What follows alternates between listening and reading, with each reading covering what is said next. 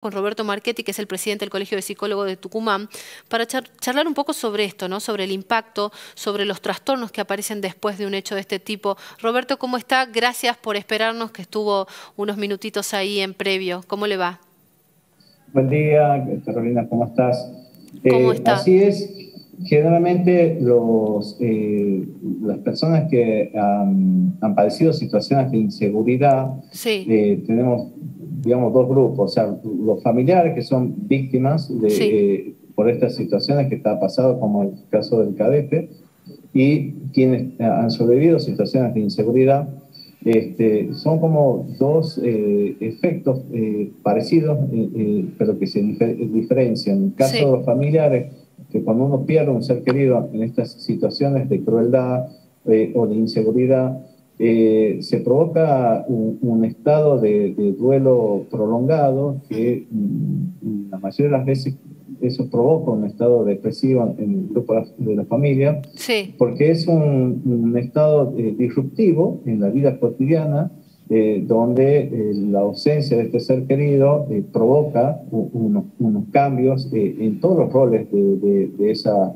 de esa familia. Y de ahí la familia intenta o la familia, amigos, eh, intenta de alguna manera este, realizar como mecanismo de, de, asimilación y aceptación de, esta, de, esta, de estos hechos eh, trágicos, que claro. ahí justamente eh, se encuentran otras dificultades que tienen que ver por ahí con ciertas acciones de impunidad que, que a veces suele existir y que eh, profundiza y dificulta esa, esa elaboración. Bueno, ahí, ahí le quería consultar, porque e, estos puntos que usted menciona, o factores que yo me imagino que, en el caso de una pérdida por, por un hecho delictivo eh, es mucho peor, más grave, más complicado incluso para tratarlo posteriormente, la cuestión de lo imprevisto, ¿no? Ante la muerte, en manos de, un delincuente, de alguien que roba, que mata, que asalta, que te despoja. Y, esta cuestión que usted mencionaba recién también, ¿no? De, cómo volver a rehacer la vida en general, de la actitud que puede llegar a tomar la familia, la impunidad, ¿no? ¿Cómo se sale de ahí?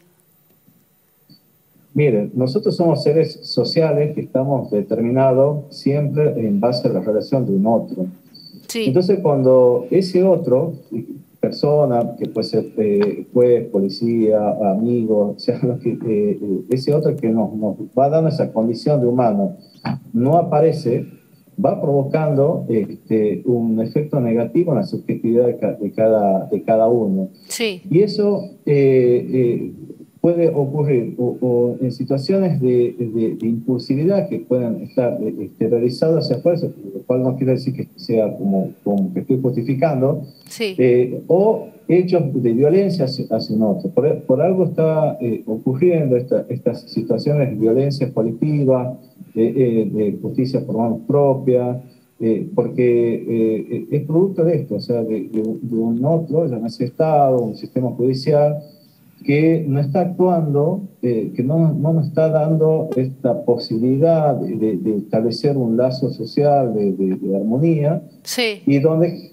caemos en lo que es una individualidad eh, que vamos eh, intentando este, seguir el mismo camino de la crueldad por lo cual no, nos ha llevado a, esa situación. Licenciado, sí, no, y le quería preguntar, porque bueno, muchas veces en hechos de este tipo, a veces el sistema funciona, los delincuentes terminan en la cárcel.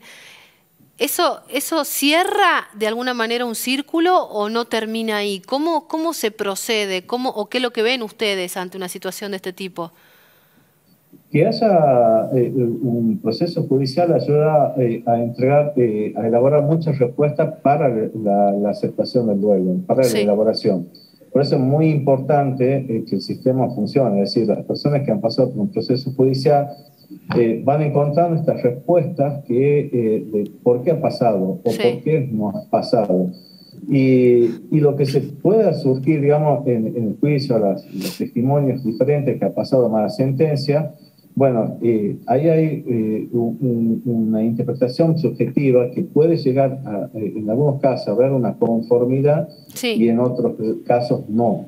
Este, a veces este, la pena puesta a, la persona, al, delincuente o al que ha este, ocasionado un acto de, inseguridad, eh, puede dar recién inicio este, para que esa persona eh, pueda elaborar el duelo por este, ser este, fallecido, este, y ahí donde comienza eh, nuevamente el trabajo, digamos, lo que se refiere a salud mental, comienza a tener otra dimensión diferente que es al principio. Porque al principio hay un estado de desprotección por, por esta pérdida eh, disruptiva de, de, familiar, donde se establece toda una crisis este, de funcionalidad, y después ya comienza, ya una vez que se ha, eh, se ha trabajado y se, se, ha podido elaborar esta, esta situación de, de juicio con una condena, este, permitir a estas personas sobrellevar una vida de una manera mucho mejor este, eh, y más armónica eh, dentro de posible. Cuando no se llega a eso, se convive mucho con el rencor, con ese estado de vacío que tiene la persona, que este, lamentablemente lleva a, tener estas, este, estas conductas, digamos, que, que, forman parte de, la alteración del estado de ánimo o por ahí con ciertos episodios de impulsividad propia de, esta impotencia que es difícil sobrellevar eh, en esta situación. Bien, bueno doctor, le agradecemos por ayudarnos a interpretar ¿no? esta, esta, esta realidad que es tan presente y, tan dura, ¿no? Muchas veces hoy comentábamos nosotros y decíamos qué triste la sensación que nos ha quedado a todos después de conocer que el último viernes muere, ¿no? Eh, Guillermo, este cadete, pero nos pasa a menudo con un montón de otros casos, por lo general. Eh, la inseguridad se está transformando como en una enfermedad que presenta justamente eh, rasgos comunes, digo, en el comportamiento de la sociedad. Sí, ha aumentado muchos casos de fobia. Eh, ¿Mucho caso de fobia? Y de estrés postraumático. Las personas que hayan sido testigos de, muchos hechos de inseguridad, como fue también el asesinato de la profesora de, inglés o, un hecho que había ocurrido en, un centro de compra en Yarabuena, que ha sido eh, en presencia de todos, eh, las personas que han sido este, testigos de esas situaciones también han tenido manifestaciones este, de, estrés postraumático que es, eh, son, eh, bueno, provocan obviamente la, aparición de, esas imágenes que le cuesta eh, asimilar de, ver este, este, hecho en sí, más un, cambio en el estado de ánimo, alteración en el sueño.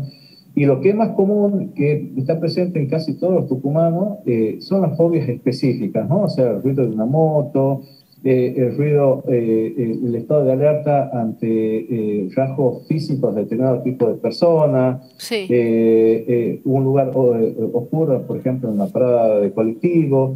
entonces, hay como esas reacciones fóbicas que las personas este, van buscando seguir su actividad a partir de lo que se llama la evitación, es decir, cuando, eh, tienen que afrontar esas, esos estímulos que les recuerdan o lo ponen en alerta una situación de, de, tensión, este, comienzan a tener una, una, manifestación de ansiedad, temor y, pensamiento catastrófico, y entonces empieza a buscar como alternativas de adaptación a partir de la evitación de, ir a esos, a esos lugares. Entonces cambia, este, y, y, lo peor de todo se naturalice ese tipo de, conducta, que es lo que estamos actualmente hoy los tucumanos.